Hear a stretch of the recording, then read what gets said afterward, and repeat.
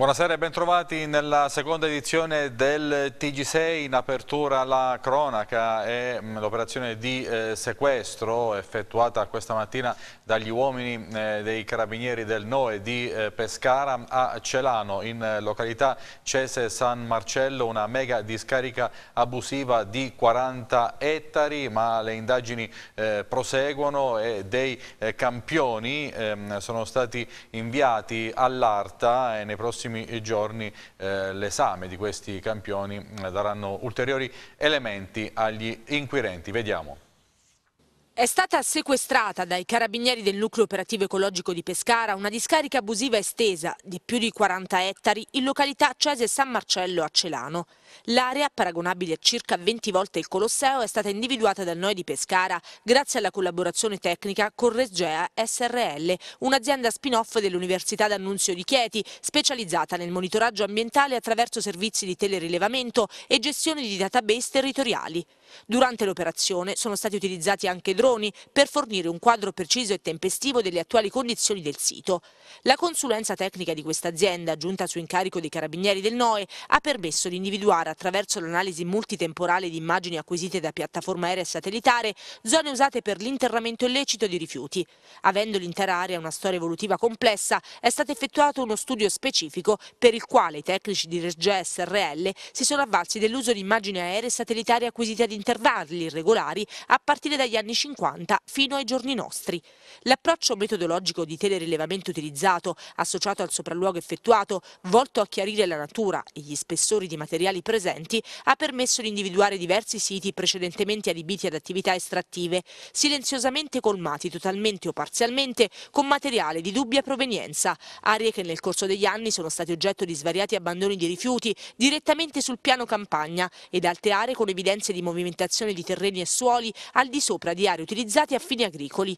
Le immagini analizzate hanno mostrato l'abbancamento di cumuli le cui dimensioni superavano i 4 metri in pianta ed hanno evidenziato la gestione ordinata delle operazioni, presumibilmente riconducibili ad aziende specializzate nel settore dei rifiuti.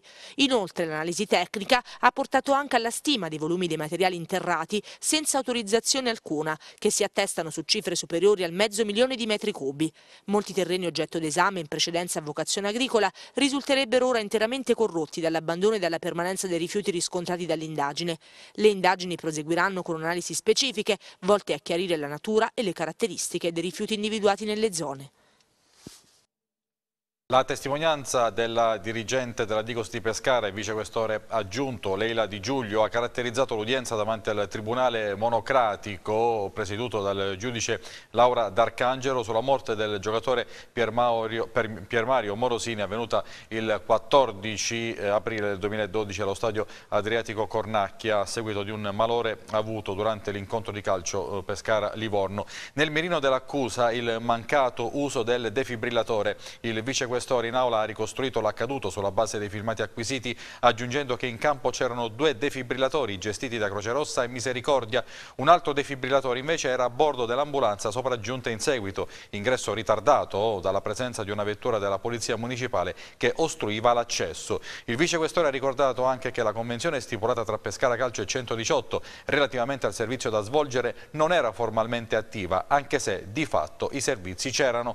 Nella vicenda sono imputati il medico sociale sociale del Livorno, Maglio Porcellini, il medico del Pescara Ernesto Sabatini e il medico del 118 in servizio quel giorno allo stadio Vito Molfese. I tre sono accusati di omicidio eh, colposo. Sempre cronaca giudiziaria, eh, sfilano, sono sfilati oggi i testimoni della difesa nel Tribunale Collegiale di Pescara nell'ambito del processo al cosiddetto partito dell'acqua che si sarebbe costituito all'interno del lato 4 di Pescara dando vita ad una serie di illeciti. Tra gli imputati, tra gli 11 imputati l'ex parlamentare ed ex presidente del lato pescarese Giorgio D'Ambrosio e mm, gli ex sindaci di Montesivano e Francavilla, Pasquale Cordoma e Rosario Roberto Angelucci eh, che devono rispondere a vario titolo, tra gli altri eh, reati di corruzione, abuso d'ufficio e peculato. L'impianto accusatorio verte principalmente sull'utilizzo improprio delle risorse economiche e strutturali dell'Ato e su una serie di presunte irregolarità relative ad assunzioni e atti deliberativi adottati dal CDA dell'ente. Questa mattina sono stati ascoltati Fabrizio Bernardini, segretario generale dell'ente d'ambito, Rosario Staffa, direttore della soprintendenza dei beni archeologici della provincia di Pescara, Enzo De Fedis, sindaco di eh, Bisenti ed Enzo Lucci, sindaco di eh, Arsita. Eh, si tornerà in aula il prossimo 8 marzo per ascoltare l'ultimo testimone della difesa e iniziare la discussione che difficilmente si esaurirà nell'arco di una sola giornata. E andiamo avanti, sempre la cronaca, circa 90.000 prodotti in gran parte destinati a finire tra le mani dei eh, bambini durante il carnevale sono stati sequestrati dalla finanza di Pescara mm, a negozi gestiti da eh, cinesi dell'area metropolitana. Giocattoli, trucchi, maschere, parrucche, accessori di carnevale contraffatti e privi della marchiatura CE erano esposti per la vendita presso 10 esercizi commerciali di Pescara, Montesilvano e Cepagatti. Circa 90.000 prodotti, in gran parte destinati a finire tra le mani dei bambini oggetti accattivanti usa e getta, offerti al prezzo di pochi spiccioli ma di pessima qualità, contenenti soprattutto componenti prive delle minime indicazioni e precauzioni d'uso, sono stati sequestrati dai militari del nucleo della Polizia Tributaria tributaria di Pescara. Le fiamme gialle hanno accertato le violazioni nell'ambito di uno specifico dispositivo di controllo a contrasto della contraffazione e a salvaguardia della sicurezza e della salute dei consumatori. Pesanti le sanzioni nei confronti dei titolari dei punti vendita, imprenditori di origine cinese. Per tre di loro è scattata la denuncia all'autorità giudiziaria per il reato di introduzione nello Stato e commercio di prodotti con segni falsi. Altri sette sono stati segnalati in via amministrativa alla Camera di Commercio per violazioni al codice del consumo.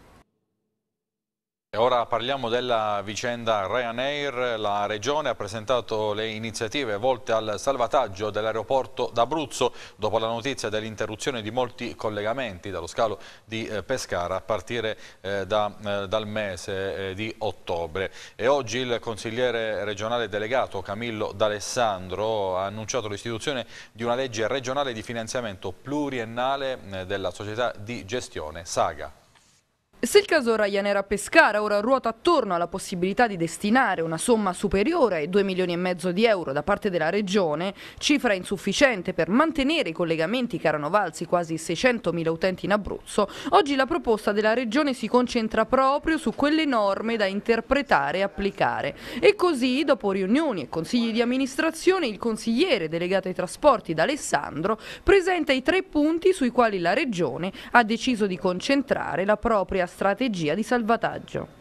Innanzitutto una legge regionale pluriennale che presenteremo in uno dei prossimi consigli che consente un finanziamento stabile all'aeroporto e non a singhiozzo, la seconda legge la ricapitalizzazione della saga conferendo beni immobili che consente di eh, raggiungere un obiettivo che ENAC chiede all'aeroporto per poter operare, la terza eh, iniziativa che ha carattere più politico-istituzionale riguarda il lavoro che stiamo facendo in regione e in Europa nonostante ci siano chi di cognome fa aiuto ma non aiuta, la Regione Abruzzo per superare anche dei vincoli imposti dal legislatore europeo e dalla giurisprudenza eh, consolidata della Corte Costituzionale, cioè non si può più finanziare come prima.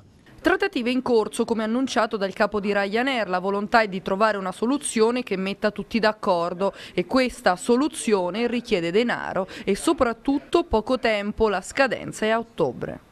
Ma non hanno dato una scadenza fissa, però noi subito dobbiamo rispondere con questi atti eh, e dimostrare loro che c'è la disponibilità per altri operatori privati che vogliono accompagnare l'intervento della Regione. Dopodiché c'è un piano industriale che va avanti e che noi stiamo finanziando nella legittimità perché ricordo che noi due volte siamo intervenuti finanziariamente su Saga, tutte e due le volte non abbiamo avuto eh, Corte Costituzionale che le hanno dichiarate illegittime, quindi nella perfetta, eh, perfettamente nella norma norma. Così vogliamo continuare a fare sapendo che ci sono questi vincoli insuperabili.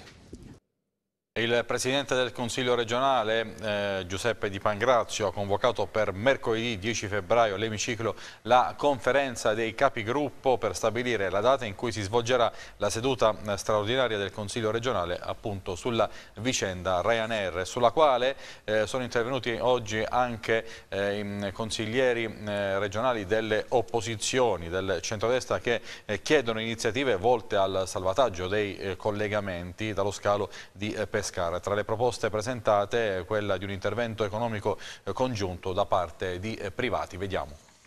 Il centrodestra vuole chiarire subito un punto sulla questione aeroporto d'Abruzzo. La volontà non è quella di criticare ma di adoperarsi per trovare soluzioni che evitino la dipartita del colosso Ryanair per le inevitabili e dannose ricadute su tutto il tessuto economico. Prova ne sono i dati di un'indagine pubblicata dall'Università d'Annunzio nel 2012 emerge un dato di, adesso vado con una, un ricordo spannometrico di circa 700 mila euro a settimana di indotto mi sembra, eh, direttamente collegato all'aeroporto. Ora l'aeroporto e le tratte bisogna ragionare sul discorso dell'incoming, dell'incoming turistico, dell'incoming commerciale ma anche del valore in sé che ha l'infrastruttura anche come, come, come impatto sul territorio e ricadute sul territorio e posti di lavoro. Per dire che ogni volta tutti quegli sforzi che abbiamo fatto anche da un punto di vista finanziario, 4-5 milioni di euro anno, erano degli investimenti straordinari non dei costi, degli investimenti straordinari che chiaramente pesano da un punto di vista di bilancio ma che danno ritorni territoriali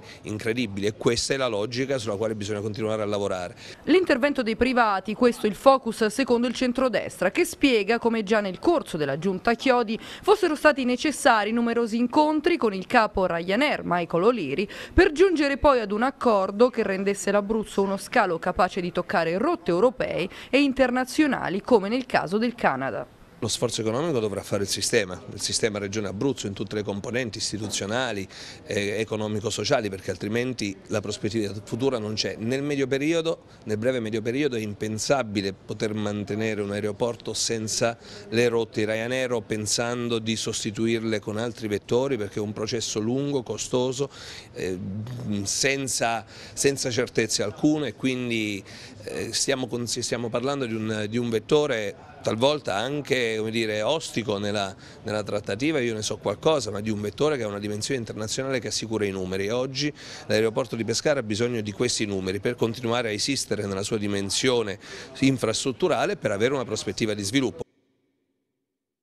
A Lanciano la TUA ha dato il via ai lavori di adeguamento della stazione di Fossa Cesia Torino di Sangro per potenziare i collegamenti ferroviari con lo stabilimento Sevel di Atessa. Lo snodo ferroviario sarà importante anche per aprire la strada a nuovi eh, servizi per il trasporto passeggeri. Vediamo. Con la consegna dei lavori per eh, l'ammodernamento della stazione di Fossa Cesia si consente alla stazione di Fossa Cesia di rispettare gli standard europei e quindi di entrare a pieno titolo nella rete infrastrutturale ferroviaria dell'Europa. Questo significa creare le premesse per eh, rafforzare l'offerta, potenziare l'offerta del trasporto merci su ferro e quindi collegare il cuore produttivo dell'Abruzzo al cuore produttivo dell'Europa. Subito dopo la realizzazione di questi lavori e anzi parallelamente con la realizzazione di questi lavori si avvierà il potenziamento della piastra logistica di Saletti e in prospettiva, anche una prospettiva immediata, si creeranno le condizioni per poter offrire anche un trasporto passeggeri alle migliaia di, di lavoratori che ogni giorno si recano in Val di Sangro. Se osserviamo quest'opera questo, questo, quest all'interno del quadro più ampio delle opere di infrastrutturazione della Regione Abruzzo, a iniziare dal potenziamento del raccordo ferroviario con il porto di Ortona, oltre che con i lavori del porto di Ortona, all'infrastrutturazione ferroviaria con il porto di Vasto, direi che emerge un quadro significativo su una ridefinizione dell'intera infrastruttura regionale che sarà di grande, di grande propulsione per lo sviluppo economico dell'intera regione. Purtroppo anche per il 2016 registriamo un aumento dei pedaggi da parte del concessionario delle autostrade A24 e A25, aumenti maggiori dell'inflazione pari al più 3,4%.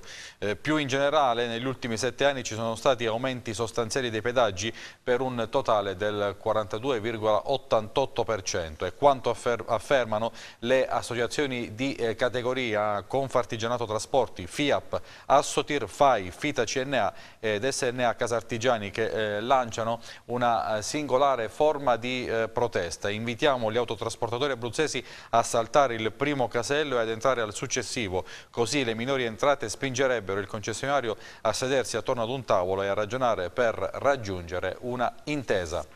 Predisporre un piano per la stagione balneare che si avvicina e programmare azioni di prevenzione per tutelare la qualità del mare e dei fiumi. Di questo si è parlato quest'oggi a Pescara, nella sede della CNA.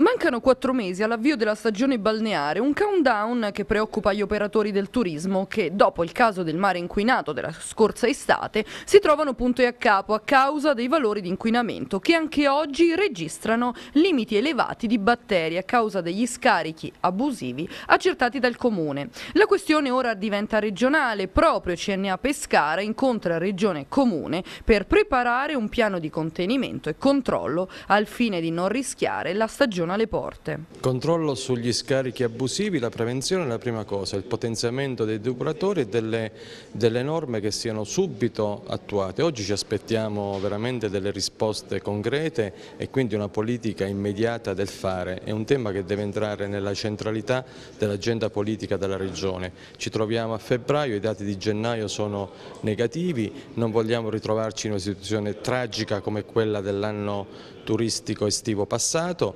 e sicuramente questa cosa se non viene risolta adesso eh, ci potrebbero essere eh, veramente delle disdette, un'immagine negativa che riverbera sull'intero sull Abruzzo. E sappiamo bene anche la paura in questi giorni, come è successo due anni fa, come l'anno scorso, di persone che chiedono continuamente qual è la situazione, ma non solo locali, anche turisti che cominciano a informarsi, a chiedere perché le notizie sul web viaggiano velocemente velocemente. Si dovrà lavorare da un lato sugli impianti da realizzare per prevenire il problema inquinamento, si parla di depuratori, e dall'altro anche lavorare per migliorare e riportare in auge l'immagine di una pescara che è stata al centro di polemiche corse anche sulla rete e quindi fuori dalla nostra regione. Questo, questo, è un aspetto di notevole importanza e sul quale bisogna rispondere con una campagna di verità. La campagna di verità si può fare nel momento in cui c'è la politica del fare e quindi ci sono eh, risultati in base a degli interventi reali che cambino immediatamente il verso delle cose. E ora andiamo all'Aquila, solo da poche settimane sono iniziate le operazioni di ricostruzione della scuola De Amicis, proprio mentre sull'edificio i puntellamenti stanno dando dei segnali di cedimento. L'usura del tempo e la scarsa manutenzione nel corso degli anni iniziano a farsi sentire su uno dei simboli dei ritardi nella ricostruzione post-sisma. Ingabbiata tra migliaia di tubi nei giorni successivi al 6 aprile 2009, la scuola elementare De Amicis ha iniziato il percorso per la ricostruzione solo da qualche settimana. Giusto in tempo per tamponare quella che rappresenta una piccola grande emergenza. I puntellamenti hanno iniziato a staccarsi dalla facciata, proprio nell'angolo che confina con la Basilica di San Bernardino. Un distacco a cui si è cercato di mettere riparo in alcuni casi posizionando delle palanche in legno, ma alcuni sono rimasti pericolosamente staccati dalla parete. Una situazione a cui i tecnici operai dovranno porre rimedio in tempi rapidissimi, perché i puntellamenti, nonostante il 1.800.000 euro speso dopo il terremoto, stanno cedendo. Firmata questa mattina a Teramo la transazione fra la ASL e la piccola opera Caritas di Giulianova per porre eh, termine al contenzioso esistente. La transazione riconosce da parte dell'ASL di Teramo alla piccola opera Caritas una somma pari a 2 milioni di euro, circa la metà di quanto richiesto. Soddisfatto per il buon esito della vicenda eh, sia il manager eh, Fagnano che il presidente della regione e commissario ad acta per la sanità Luciano D'Alfonso. Noi siamo davanti ad un giacimento di servizi sociali destinati alla persona, la piccola Opera Caritas, che ha tradizione di ottimo lavoro, una bella organizzazione di competenza, una resistenza invidiabile che a volte sfugge anche alle organizzazioni pubblicissime. In ragione di questo abbiamo letto in maniera approfondita tutti i documenti, la consistenza anche di possibile contenzioso e di contenzioso in essere e abbiamo trovato un'intesa che fa soddisfatta la piccola opera Caritas e fa destinataria di convenienza la ASL di Teramo. Cessa la materia del contendere poiché riconosciamo il lavoro di qualità che è stato fatto e determiniamo anche convenienza a favore della Regione e della ASL. Restiamo a Teramo perché questa mattina è stato presentato in comune il progetto di rifunzionalizzazione del Castello della Monica tramite un finanziamento di 2,1 milioni di euro concesso dalla Regione con i PAR 2007-2013. Ascoltiamo a tal proposito il sindaco Maurizio Brucchi. Dal momento in cui eh, c'è stata data conferma del finanziamento noi abbiamo davvero corso e io ringrazio gli uffici perché davvero hanno fatto eh, l'impossibile, che abbiamo chiuso tutti i piso entro il 31-12 compreso il Castello della Monica. Abbiamo l'impresa aggiudicataria che è l'impresa Fracassa che è un'impresa valida, solida e questo è anche importante. Mm, questo devo dire che insomma su questo finanziamento eh, hanno dire, collaborato un po' tutti perché io mi ricordo che fu Venturoni la prima volta a iscriverlo nel nella, diciamo così, fra i progetti mh, del nostro territorio. C'è stato anche un emendamento da parte dell'opposizione, eh, Chiodi, di Dalmazio, di Ignazio e Gatti e poi insomma, la, la, il finanziamento, 2 milioni e 100. Il Ministero adesso ha aggiunto 600 mila euro eh, quest'anno nella finanziaria, è chiaro che questi 600 mila euro sono state destinati alla sovrintendenza. Ora questo spero che non sia un problema e me lo auguro, insomma, nel senso che eh, se si troverà una collaborazione, come credo che si debba trovare, con questi 600.000 euro noi abbiamo la possibilità di chiudere dire, il, il, il, lavoro sul Castello della Monica, perché noi come priorità avevamo messo il teatro romano, però poi sono arrivati, sono arrivati questi Castello della Monica, siamo contenti anche se io aspetto ancora che il Ministro venga a Teramo a portarci la notizia del milione e mezzo di euro che serve per il teatro romano, che è un progetto che noi non abbandoniamo, adesso ci sono gli aspetti tecnici, quelli formali, i documenti, i vari, i vari aspetti formali, però diciamo che l'impresa è pronta, noi siamo pronti, quindi lavoriamo lavori partiranno a breve per un recupero importante, anche perché si conclude un discorso antico eh, nato con Chiodi e con Di Dalmazio assessore, cult, con il recupero del Castello della Monica noi chiediamo quel percorso urbanistico, culturale, architettonico all'interno della città. E ora apriamo la pagina sportiva e parliamo di Serie B e di Pescara. Ieri il bomber Gianluca Lapadura ha incontrato il commissario tecnico della nazionale peruviana, eh, Gareca, che lo vorrebbe appunto con la eh, selezione sudamericana sin dalle prossime partite, ma eh, il centravanti e capocannoniere della Serie B eh, prende eh, tempo. intanto il Pescara ha ripreso mm, i lavori, ha ripreso gli allenamenti in vista dell'anticipo eh, di venerdì sera alle 20.30 l'Adriatico Cornacchia eh, contro il eh, Vicenza. Eh, saranno ehm, certamente assenti ehm, i vari Caprari, Verre e Mandragora che saranno squalificati dal giudice sportivo. Caprari è stato espulso a Salerno mentre mh, mm, Verre e Mandragora diffidati sono stati ammoniti. Sicuramente assente anche eh, Campagnaro da valutare le condizioni di eh, Crescenzi mm, ehm, che è ancora fermo dopo la distorsione alla caviglia. Sta svolgendo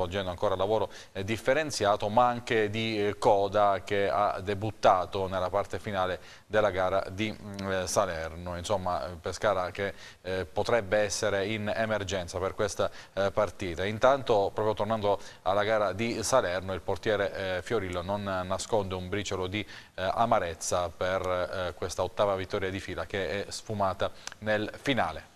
Un rigore parato nel secondo tempo ma non è bastato per portare a casa i tre punti. Peccato che non è bastato per la vittoria. No, eh, non è bastato, c'è un po' di rammarico perché potevamo forse approcciare meglio la gara.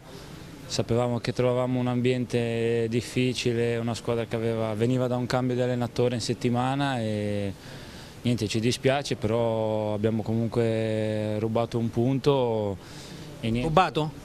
No, rubato nel senso portato a casa un punto e adesso noi dobbiamo solo guardare noi stessi e vincere più partite possibili da qui alla fine. Neanche noi siamo soddisfatti perché sappiamo le nostre qualità e potevamo portare a casa i tre punti, però è inutile adesso continuare, guarderemo le cose che non sono andate bene, sappiamo che adesso abbiamo altre, altre finali, abbiamo, stiamo attraversando un bel momento, non è questo pareggio che ci fa, ci fa perdere di vista l'obiettivo. Oggi non c'era Campagnaro in campo e Pescara ha subito due gol e non ha vinto, è un caso questo? Ma non credo, nel senso ogni volta mi viene fatta questa domanda, eh, ovviamente Ugo Campagnaro parla la, sua, parla la sua carriera, è un giocatore che fino a poco tempo fa giocava nelle squadre, di una delle squadre più forti del mondo, ma sono altrettanto bravi ragazzi che giocano al suo posto. Lui ci dà una mano con l'esperienza, ma penso che oggi abbiamo tutti quanti approcciato magari un po' meno bene del solito alla gara. Anche la Virtus Lanciano è tornata a lavorare al campo eh, Memmo, ehm, non si sono allenati l'attaccante eh, Marilungo, mm, per lui una sindrome influenzale, e un altro attaccante, il ben più giovane eh, King Judo, per lui disturbi intestinali. Mm, Salviato invece eh, ha svolto lavoro di riatletizzazione e poi mm, oggi una novità nello staff del neotecnico primo eh, Maragliulo perché è entrato a far parte come collaboratore eh, Roberto Rizzo. Domani doppia seduta per la Virtus Lanciano, poi eh, ci sarà anche la presentazione eh, dei eh, nuovi arrivati, gli arrivati negli ultimi giorni di eh, mercato. Ehm, ricordo anche eh, che questa sera ci sarà ehm, il match tra Trapani e Como ehm, che chiuderà la 25esima giornata di Serie B. Ed ora parliamo di ehm, Lega Pro e lo facciamo attraverso le parole di eh, Mirko Petrella, mm, l'attaccante del Teramo che è andato in gol nella gara di sabato scorso a Savona, un gol che però non è valso i tre punti ma eh, soltanto, ehm, eh, un, soltanto, un, punto perché poi il Savona ha saputo rimontare, la partita. È finita 1 a 1, mm, Petrella ha spiegato anche un po' le emozioni mm, di tornare eh, sul campo dove ci fu la festa del 2 maggio ma soprattutto soprattutto ha parlato di quella che è la sua stagione e di quelle che sono anche le sue prospettive. Eh, All'inizio un bel mago nello stomaco, dopo piano piano ci siamo sciolti e poi è arrivata la partita e quando comincia la partita non pensi più a niente, pensi solo a fare bene. Eh, chiaramente la classifica la vediamo spesso anche perché abbiamo passato un periodo difficile e i punti se ce li ridanno questo non lo so e a noi fa solo piacere però comunque adesso la classifica è diversa, adesso la classifica dice che siamo a 5 punti sopra i playout ed è quella la cosa più importante adesso come adesso. Sicuramente la, la forma fisica è una gran parte del, diciamo, della, della buona riuscita di questa stagione perché ho avuto tanti problemi che non mi hanno mai fatto entrare in condizione come volevo e che hanno frenato un pochino la mia crescita. Adesso comunque è un bel po' di tempo che non mi fermo per un lungo periodo e di conseguenza questo si vede in campo. Per il resto anche il minutaggio mi ha dato una mano perché quando giochi poco è difficile comunque trovare continuità e fare bene. Quest'anno sto giocando di più e sto, sto trovando proprio questa continuità e anche gol che fanno sempre piacere. Sinceramente non so, non avendola mai fatta, quindi non so proprio di cosa di cosa si parla. È chiaro che per un ragazzo di 22 anni è sempre un'opzione importante quella di salire di categoria, quella di, di, crescere il prima possibile. Io ci ho messo un pochino di più anche perché ho avuto tanti problemi, però quest'anno sto trovando continuità, i gol e sto anche facendo buone prestazioni, quindi spero di arrivare in categorie superiori il prima possibile, se avrò la possibilità.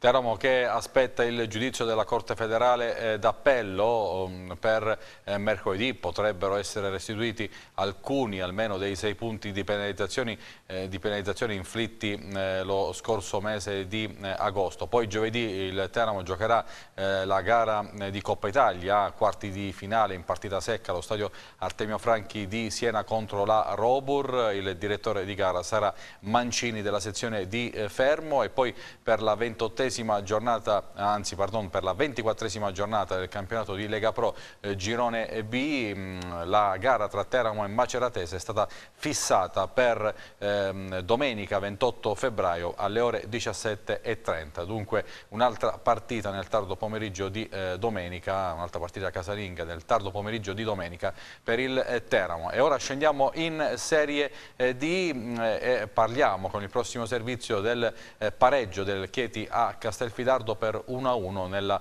partita che segnava il debutto sulla panchina nero-verde del neotecnico Umberto Marino. Inizia con un pareggio l'avventura di Umberto Marino sulla panchina del Chieti. Al Galileo Mancini i suoi ragazzi sfiorano anche la vittoria nonostante l'inferiorità numerica per oltre un tempo, mancando proprio allo scadere una super occasione con Mariani.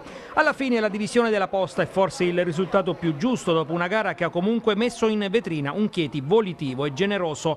Si comincia sul filo dell'equilibrio con le due formazioni a fronteggiarsi soprattutto nella zona di centrocampo. Nel Chieti di Marino la prima sulla panchina panchina nero-verde non ci sono gli squalificati del Grosso e Zanetti e l'infortunato Vitale. Nel Castelfidardo al centro dell'attacco c'è invece l'ex pescarese Massimo Ganci, reduce dalla doppietta di Avezzano e pronto a lasciare ancora il segno. L'avvio di gara è equilibrato con le due squadre a fronteggiarsi a centrocampo in un fazzoletto di campo. L'importanza della posta in palio va ad influire sullo spettacolo che lascia davvero a desiderare, visto che fino ad oltre la mezz'ora non accade praticamente nulla con i due portieri Chiodini e Dideo praticamente inoperosi. Al 37 c'è un tiro centrale di Dos Santos dai 25 metri che chiama Chiodini ad una parata senza grossi affanni. Al 38 Dedeo non si capisce con i compagni di squadra e tocca il pallone con la mano fuori aria. Per il direttore di gara c'è il cartellino rosso dopo il consulto con il suo assistente. Marino richiama così in panchina Sebastianelli mandando in campo il secondo portiere Romaniello. Chieti in 10 per tutto il secondo tempo con Ganci che poi su punizione mette al lato imitato al 44 da Fiore che lambisce il palo sempre su calcio da fermo. Nella ripresa si ricomincia con una opportunità che al terzo capita sui piedi di Speranza che dal limite alza sopra la traversa. La gara sembra vivacizzarsi, infatti al dodicesimo Fiore viene atterrato in area da Castellana con un fallo che appare piuttosto evidente e rigore che Varone trasforma dagli 11 metri per l'1-0 mettendo il pallone nell'angolino dove Chiodini non può arrivare. Il Castelfidardo cerca di reagire al ventunesimo e il neoentrato Minella a chiamare Romaniello al salvataggio in calcio d'angolo. Nonostante l'inferiorità numerica i ragazzi di Marino non danno l'impressione di soffrire eccessivamente, ma in agguato c'è l'ex pescarese Massimo Ganci che su perfetto cross di Belelli di testa beffa Romaniello al 31esimo per il gol dell'1-1. Il finale potrebbe regalare ai teatini la vittoria, ma al 49esimo Mariani, servito da Dos Santos, tutto solo in area marchigiana, alza incredibilmente sopra la traversa, mettendosi poi le mani fra i capelli per un'occasione davvero ghiotta gettata alle ortiche. Stesso risultato, pareggio per 1-1 per il Giulianova, mm, ieri è finita così al Fadini contro la Folgore Veregra per la squadra di Michele Gelsi è una opportunità persa. Uno dei migliori Giulianova della stagione non riesce a portarsi via una vittoria contro la Folgore Veregra, che specie per quello fatto vedere nella prima frazione avrebbe meritato. La squadra di Gelsi e Pisano la gara contro i marchigiani la gioca bene, riscattando la brutta prestazione di Scoppito di domenica scorsa. Eppure il punto a testa che viene fuori dal Fadini ai giallorossi purtroppo serve a poco. E dire che l'inizio è promettente. Il Giulianova prova a fare la partita, anche se lo schema da piazzato di Giampaolo e Pellecchi al dodicesimo sortisce effetti molto diversi rispetto a quando, tre minuti dopo, il numero 10, a proposito, prestazione maiuscola per lui, Pennella da piazzato in area di rigore. Sbaraglia prende il tempo alla difesa marchigiana e di testa trafigge Marani, incolpevole sull'incornata del centrale difensivo che porta avanti i suoi. La reazione veregrense è timida, l'ex Albense Padovani gira il destro fiacco verso Proietti, i parroni di casa giocano meglio e si vede, ma la stoccata del 2-0 non arriva. Nemmeno quando Marini crossa al 26esimo da sinistra e Rufo non riesce incredibilmente a girare in porta il pallone che avrebbe messo una seria ipoteca sulla gara in favore del Giulianova. Giampaolo gioca una gara da incorniciare, al 31esimo la sua sventola dà solo l'impressione del gol e con Marani che prega perché il pallone non c'entri la sua porta. La ripresa si apre col botto, nemmeno un minuto e già Leonardo stende Pellecchia in ripartenza. Per Ruggeri non ci sono dubbi, rosso diretto e Folgore in 10 uomini, ma il Giulianova non ne approfitta e al 55esimo Marini, ammonito 4 minuti prima, per il fischietto romano trattiene Mandorlini in area, rigore e per il difensore secondo giallo e doccia anticipata fata dal dischetto Pedalino non sbaglia, ma eccede nell'esultanza, andando sotto il settore dei tifosi giuliesi che non la prendono affatto bene. Ci scappa quasi la rissa in campo, sedata a fatica dall'arbitro. Da questo momento in poi più folgore che Giulianova, Mannoni, minuto 67, scaglia una sassata verso Proietti che si stampa sulla traversa.